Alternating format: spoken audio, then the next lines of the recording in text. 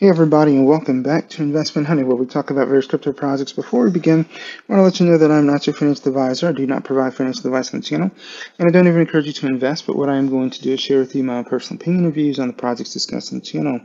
So we're looking at Tortuga. They're actually in pre-sale right now, so we're going to head on over there first. Uh, now this is DxSale. Um, a lot of times on this channel, we actually don't even really ever do any cover any projects that are on DxSale. That's not by design. Um, it's just that I typically do not cover projects on DxSale. So um, I tend to find that um, more pre-sales, you know, are on Pink Sale and GemPad um, and so forth. So we tend to do, you know, cover pre-sales more on those two platforms. But either way, uh, this was a project that I came across, and so um, you know, I had some concerns in regards to the project, and I wanted to go ahead and share my insights, you know, with you guys, you know, here on the channel. So again, this is Tortuga. We can see that right here. Um, I'll go ahead and I'll cover some of the stuff that we would normally take a look at, even though the format here is a bit different, you know, on DxSale. We get the token details over here, you know, the pre-sale address, you know, which is going to be, you know, right here, the token address, you know, the sale ID, total supply, tokens for IDO, tokens for liquidity, the soft cap and hard cap, which we typically cover, so we can see 25 ETH, you know, hard cap's 50 ETH. Uh, right now, at the time recording this, you know, you're still talking to trying to raise this under 60 grand, $60,000. Okay, with that being the 50 ETH hard cap, I think I might be a bit off, you know, but I know it's less than 60,000 at the time of me doing the video. Um, and then we can see their minimum and max contributions um, at 0.1 ETH, and then the max contribution here is going to be 3 ETH, which I think what ETH is running at just over 1100 something, you know, right now at the time we're doing this video. So, I mean, you're talking probably at 3 ETH, you know, somewhere in the neighborhood of 33 $3,400 um, given what the price of ETH is right now. So I think that's an extremely high max contribution for pre-sale. I think that's just ridiculous, actually, um, if we're if we're keeping it real. And uh, so we can also see another well, concern. Another concern that I have here is that the liquidity unlock date. Um, it's just December 31st. You know, so right now, uh, at the time of recording this video, um, we're talking what's November 9th. You know, so really short uh, liquidity unlock date for this token. We can also see, you know, here, um, you know, zero out of 50 ETH raised. You know, pre-sale is going to end in this is the time frame. So they haven't had any contributions. You know, so and we'll go we'll get into that a bit more. Now we can see there uh, we got the website link and we got a link, you know, to their Twitter. I actually don't have a Telegram, you know, for this or Discord that I've been able to find, you know, so that's another concern on this one. It says here, healthy uh, ocean requires the protection of sea turtles. Scientists claim that ocean plants, known as, I don't even know how to say this word, are responsible for more than 50% of the world's oxygen being produced in our oceans. As a result, the condition of our oceans is more uh, crucial to human survival. Tortuga is a new rev- or a is a new revolutionary new Ethereum token that combines all of its features to create something entirely new and support the cleanup of ocean and river plastic by becoming a donor to the ocean cleanup. All right, so that's the information that they give you in regards to their description. We can also see the estimated initial market cap is going to be 226302 as evidenced right here. And we can see no KYC. They do have an audit. As far as the audit is concerned, um, I think I've already mentioned this. Maybe I didn't, but they can blacklist. So if I did uh, mention that before, my apologies for repeating it. But, and then we can also see here on the token um, distribution. Another concern is that they've got 56% of their tokens unlocked. Okay, and anytime we see a big chunk of tokens unlocked, really any tokens unlocked, we always want to know what's the reason behind that. But in this case, that's a lot of tokens that are unlocked. Okay, so that is also a concern. Now, um, based on what you already saw in terms of the currency for the raise, it is an Ethereum project, so be aware of that as well. Transitioning over to the documentation, so we can see that they've got 18 slides, and as always, I mean, we'll go into a preview, you know, the slides and see what they've got going on here in their information. So, I mean, as far as the documentation is concerned, I mean, it doesn't look bad. Um, we can see here on their ecosystem, they've got swapping, a wallet, holding, and exchange, okay? So, and then we see here they're mentioning that they have a secure platform. Uh, everybody says that, but, you know, remains to be seen. Core values, and we see token utilization, uh, we see how to get started with us and features associated, you know, with the token, challenges, solution-based advantages, and we see here tokenomics, so we always like to take a look here at those. And we can see, you know, just the token name, symbol, total supply is going to be one quadrillion, which means there's a ton of it. And we see information in regards to burn holders. Okay, the network is ETH, as we discussed before.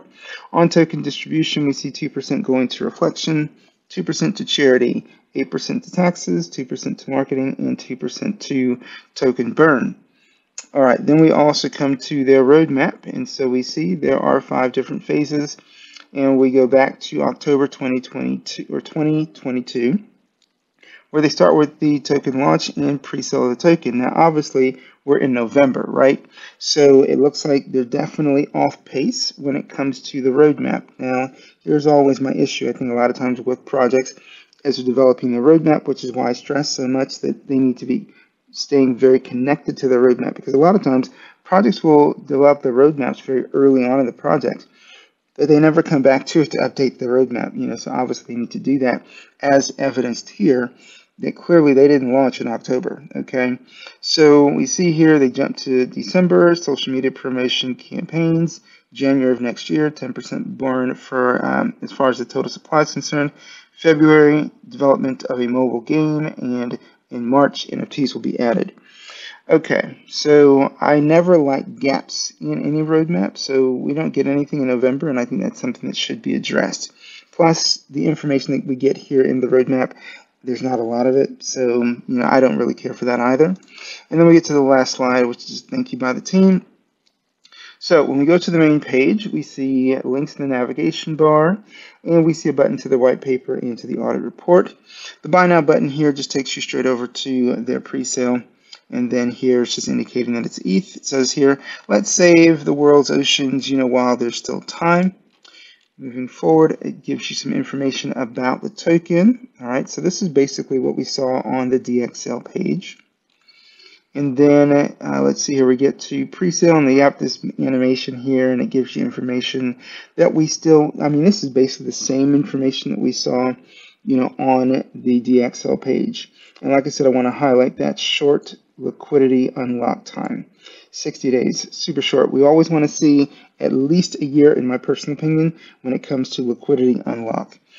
So uh, let's see here, tokenomics, again, we've already taken a look at that. And then we see um, roadmap, you know, so and the main thing when it comes to the roadmap is that even though we do get timelines, it's just really a very thin roadmap as far as I'm concerned. Not a lot of details, and we want more details in a roadmap. We also want to see where the team's at in terms of development of the things they say they're going to do. Uh, and then when we get to the end of the roadmap, you know, is there going to be any more development or value for the holders?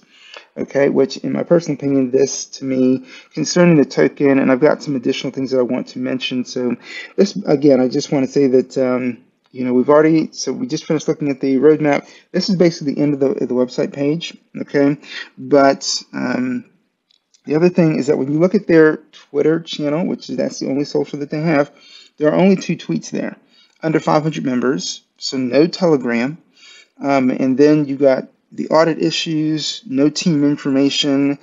Um, there are literally no links to any socials, you know, here on the main website. I mean, so here we're at the footer of the of the page.